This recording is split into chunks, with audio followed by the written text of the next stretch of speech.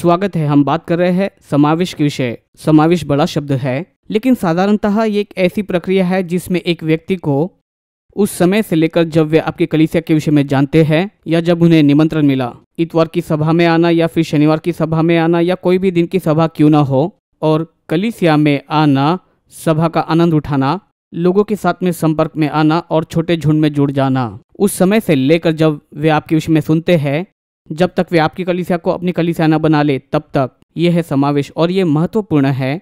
ऐसी प्रक्रिया है और मुझे नहीं लगता है। हम इस विषय सोचते हैं। जो बातें मैंने सीखा मैं आपको बताना चाहता हूँ, क्योंकि हमारी कलिसिया कवनेंट लाइफ है और हाल ही में दो साल पहले हमने स्थापित किया और हम लोग लगातार बढ़ रहे हैं दो भिन्न जगहों पर, नोएडा और दिल्ली में। और ये हमारे लिए बहुत ही महत्वपूर्ण है कि लोग हमारी कलिसिया के विषय में किस रीति से सुनते हैं, उसके विषय में क्या सुनते हैं जब वे पहली बार आते हैं तो क्या अनुभव करते हैं और क्या निर्णय लेते हैं? वो प्रक्रिया, वो बातें जिसमें वो निर्णय लेते हैं कि वे हमारी कलिसिया में बने रहे, ये मेरे लिए बहुत ही महत्वपूर्ण है और हमारी कलिसिया के स्वास्थ्य के लिए भी, क्योंकि यह महत्वपूर्ण बात है कि हम एक अच्छी छाप को छोड़े। हर कोई करना चाहता है। आप उन लोगों को लुभाना नहीं चाहते हैं आपकी कलिसिया में, लेकिन आप चाहते कि आप जाने कि वे क्या महसूस करते हैं। आप एक अनुभव को प्राप्त करना चाहते हैं या उन्होंने जो अनुभव प्राप्त किया उसे जानना चाहते हैं कि उन्हें कैसा लगा। अब मुझे नहीं पता कि आपकी कलिसिया कैसी है, लेकिन जिस रीति से हम अपनी कलिसिया को चलाते हैं घर जैसी जगह है, एक तह खाना है, एक बड़ा तह खाना है, एक ऐसे स्थान में, हमारे एक स्थान में और दूसरी जगह हम लोग स्कूल में करते हैं तो हमारे पास में दो ऐसी बहुत ही दिलचस्प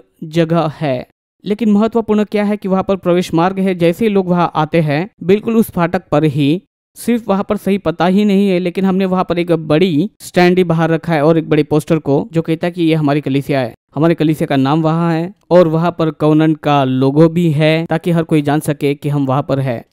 अगर हमारी बात करें तो वहाँ पर प्रवेश मार्ग है, एक स्थान पर। और जब लोग वहाँ पर चलकर आते हैं, हम साइन बोर्ड को रखते हैं जहाँ पर लिखा होता है कि आपका स्वागत है। प्लांटर और हमने एक बड़ा सा लकड़ी का एक बक्सा, कुछ पौधे और उसमें स्वागत का चिन्ह अगर आपके पास में हमारी कलिसिया की वेबसाइट है तो आप वहाँ पर देख सकते हैं। और ये तो उसमें कुछ जोड़ा जाना है, जो कि हमारे स्वागत के लिए होता है, ताकि वे जान सके कि इन लोगों ने हमें सिखाया है। उन्होंने ये सोचा कि हम लोग आ सकते हैं, और उन्होंने तैयारी की उनके आने के लिए तो हम लोग रखते हैं। सफ़ाई भी एक बात है। क्या आपकी कलिसिया साफ़ सुथरी है जब आप आते हो, या फिर आप बाथरूम के लिए जाते हो, तब भी गलिया से जाते हो, तब, या फिर आप जहाँ पर सभा करते हो, वही जगह साफ़ सुथरी है। और बाकी सब कुछ वो सीढ़िया और कारपेट और बाकी सब कुछ बिल्कुल भी गंदा सा है। ये बहुत ही खराब लगता है, खासकर उन लोगों के लिए जो पहली बार कलिसिया में आते हैं।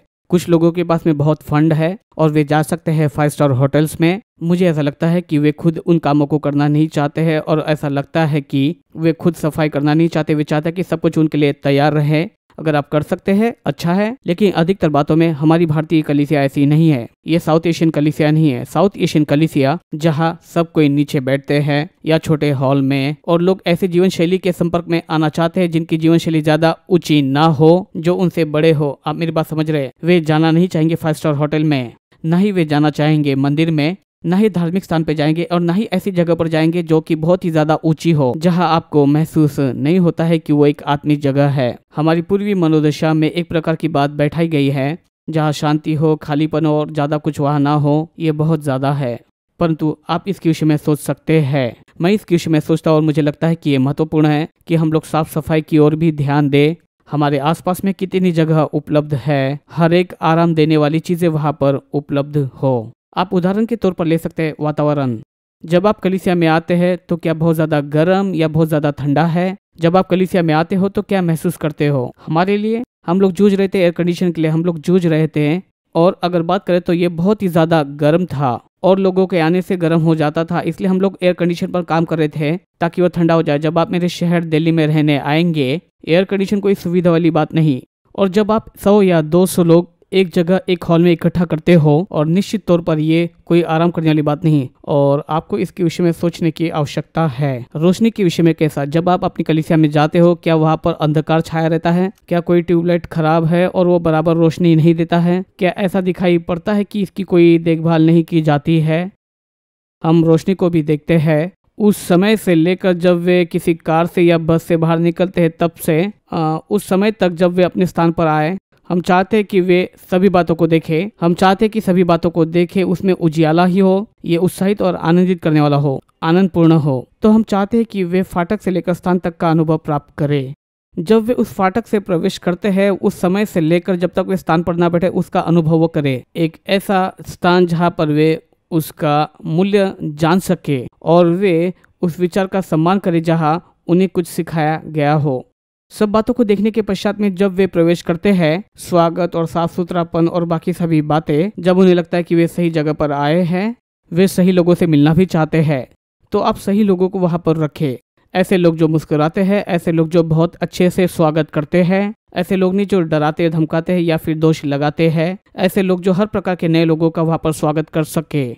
और जब लोग वहाँ पर आते हैं, खासकर ऐसे लोग जो वह पहली बार कलिसिया की ओर आते हैं जो पहले कभी कलिसिया ना गए हो या फिर उनका बड़ा बुरा अनुभव रहा है, ये बहुत ही ज़्यादा महत्वपूर्ण है कि हमारा पहला संपर्क किसी के साथ हो जो हमारा ध्यान रखता है।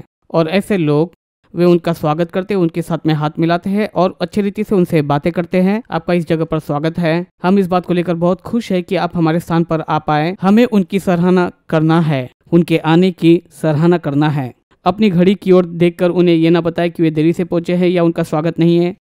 और इसीलिए ये बहुत ही ज़्यादा महत्वपूर्ण है कि सही लोगों को रखे, कि वे संपर्क में रहे। लोगों को सार्वजनिक तौर पर प्रशंसा की जाए अच्छा नहीं लगता, लेकिन उनको अकेले में अच्छा लगता है। उनकी प्रशंसा की जाए, उन्हें अच्छा लगता है, लेकिन खुले में नहीं, अकेले में। तो हम अपनी सभाओं में किसी को निराश नहीं करते हैं। नए लोगों को खड़ा करके उनका स्वागत करने के दौरान ताकि उनकी ओर ध्यान जाए, या ऐसा कोई जो बहुत लंबे अरसे से आया नहीं। अचानक बोलते हो पीछे देखो, हम लोग सच में आपको बहुत याद कर रहे थे। नहीं नहीं, ऐसा नहीं, हम लोग सच में उन्हें याद कर रहे थे। हम लोग जानते हैं कि उनका मज़ाक उड़ाया जा रहा है, ये अच्छा नहीं दिखाई पड़ता। हम क्या करने की कोशिश करते हैं? हम लोगों का स्वागत करते हैं। खुले मन से अगर आपने लाइव को देखा है, और आप देखेंगे कि मैं पुलपीट से क्या करता हूँ, परंतु अकेले में हम उनकी सराहना करते हैं। आपका नाम क्या है? माफ़ करना। हम उनकी अकेले में सराहना करते पूछते हैं कि क्या नाम है आपका सप्ताह कैसा बीता? और थोड़ी जानकारी लेते हैं पूछते हैं कि क्या कोई आपके बच्चे हैं? वे सब कैसे हैं और कैसी उनकी स्थिति है? किसी न किसी रीति से हम उनके प्रति चिंता और प्रेम को प्रकट करते हैं। और मुझे लगता है कि ये बहुत ही ज़्यादा महत्वपूर्ण है इसलिए अकेले में उनकी प्रशंसा करें। जब नए लोग आपकी कलीसिया में आते हैं हमने ये करने का निश्चय किया था। आ, हमने वहाँ पर कुछ चिन्हों को रखने का निर्णय लिया था कि बाथरूम इस तरफ़ है और बच्चों की सेवका इस तरफ़ है। और जवानों की सेवका इस ओर होती है और खाने पीने की व्यवस्था यहाँ पर है। जब लोग आते हैं, उन्हें जब कुछ पता नहीं होता है, आप नहीं चाहोगे कि वे यहाँ वहाँ ढूंढे और पूछने पूछते रहे कि कहाँ पर क्या है। और ये सचमुच बहुत ही दुखद है। सभा के पहले, जबकि आपको पहले से देर हो चुकी है, क्या मैं टॉयलेट जा सकता हूँ? वो कहाँ पर है? वहाँ पर चिन्हों को रखे ताकि लोग जाकर तुरंत में आ सके। बाथरूम में आईने को रखे ताकि जब लोग जो दूर से आते हैं, वे तुरंत ही अपने आप को तैयार करना चाहते हैं, क्योंकि वे पहली बार वहाँ पर आ रहे हैं, ताकि वे अच्छा दिखे अच्छा बाथरूम हो, वहाँ पर अच्छी रोशनी हो और विशेषता वो साफ़ सुथरा हो। आइए बात करें बैठने के विषय। जब आप उन्हें बैठने के स्थान की ओर ले जाते हैं, क्या आप योजना बनाते हैं कि वे कहाँ बैठेंगे? आप नहीं चाहोगे कि वे आगे बैठे, उन्हें शर्म महसूस होगी। नहीं चाहोगे कि वे पीछे बैठे, जहाँ उन्हें लगे कि उनका कोई महत्व नहीं। क्या आपने मेहमानों के लिए अलग स्थान रखा है? क्या आपने सुनिश्चित किया है कि आप एक प्रक्रिया में से होकर जाएँ? ताकि कुछ स्थान सुरक्षित रखे जाएँ उन लोगों के लिए जो पहली बार आते हैं, या फिर आपके कलीसिया के कुछ लोग नए लोगों को लेकर आते हैं। क्या वे सीधे उस स्थान पर उन्हें लेकर जाते हैं जहाँ पर उनके लिए वो रखी गई है और उनके साथ में बैठे ताकि उनको अकेला महसूस ना हो? और इसलिए ये बहुत ही महत्वपूर्ण है कि बैठने की भी सही व्यवस्था हो। और एक बात मैं उसमें जोड़ना चाहता हूँ कि जब आप बैठकर सभा शुरू होने की प्रतीक्षा करते हो ये बड़ा अजीब लगता है, ठीक है? अगर सभा आरंभ हो चुकी है तो कोई बात नहीं है। अगर आरंभ नहीं हुई है, थोड़ा अजीब लगता है, इसलिए आप ऐसा वातावरण तैयार करें। आप वहाँ पर थोड़ा संगीत बजाना शुरू करें। अगर वर्शिप टीम बजा रही है तो तो कोई बात नहीं, लेकिन उस समय में वे ट्यूनिंग ना कर रहे हो और वे वहाँ पर टेस्टिंग और चिल्लाना और कूदना, ये सब बातें ना कर रहे हो। वहाँ पर शांति हो और एक अच्छा संगीत चल रहा हो, ताकि लोग जब वहाँ पर आए तो वे वहाँ पर शांति से बैठ सके, झुके या फिर वहाँ पर अपने सिर को झुका सके या चुप रहे या पढ़ने के लिए कुछ दे। कुछ तो भी पढ़ने के लिए दे, शायद कुछ ब्रोशर पढ़ने के दें। हम उन्हें शांत होने की जगह देते हैं, ताकि उन्हें नए जगह पर आने का जो डर है, उन्हें वो महसूस ना हो। और इसलिए हम लोग संगीत को बजाते हैं।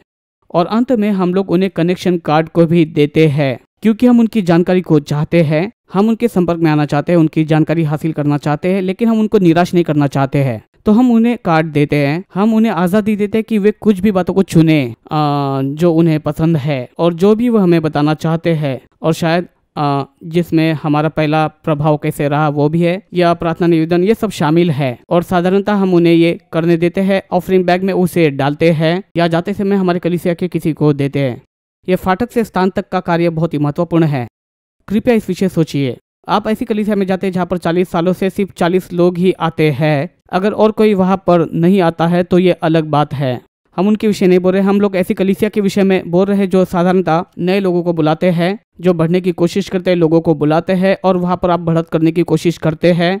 अगर आप ये कर रहे हैं और यही तो आप, जिसके विषय में बहुत ही गंभीर है तो आपको इनमें से कुछ बातों पर ध्यान देना आवश्यक है। मैं इसे कर रहा हूँ और इनमें से कुछ बातों पर मैंने सफलता पाया है, इसलिए मैं इसे बता रहा हूँ, क्योंकि ये बहुत ही महत्वपूर्ण है। हो सकता है और बातें आपके कलिसा के लिए महत्वपूर्ण हो। लेकिन आपको सोचना होगा कि वो क्या है। प्रेम को डाले, अपने योजनाओं को डाले और तरीके को डाले और आपको परिणाम मिलेगा। कलिसिया को व्यवहारिक बुद्धि से हम बढ़ाने पाए। अपनी कलिसिया को एक ऐसा स्थान बनाए जहाँ पर लोग फिर से आना पसंद करें और फिर वे वहाँ पर उन बातों को वहाँ पर करता हुआ पाएँगे। जब दूसरों ने उनके लिए किया था, जब वे आए थे, ये भी महत्वपूर्ण है। इसके विषय में हम बाद में बात करेंगे। हम लोग जल्दी मिलेंगे। तो अगली वीडियो तक आप हमारे साथ में बने रहे। आप लाइक करें या फिर सब्सक्राइब करें ताकि नोटिफिकेशन आपको मिलती रहे। उस छोटी बेल को भी दबाइए और जल्दी ही हम आपके इनबॉक्स में भी आ जाएँगे। प्रभु आशीष दे।